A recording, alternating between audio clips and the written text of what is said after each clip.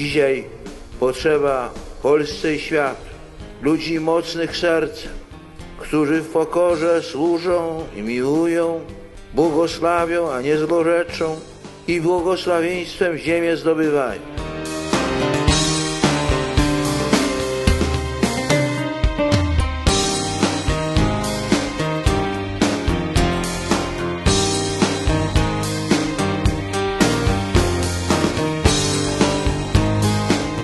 Jan Paweł II szukał człowieka w jego słabości, lęku i potrzebie miłości. Zawsze powtarzał, że każdy z nas jest powołany.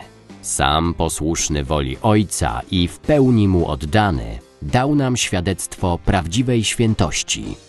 Zapraszamy do portalu czuwamy.org.pl, by razem porozmawiać o powołaniu każdego z nas A czymże jest to życie, jeżeli nie początkiem świętości człowieka?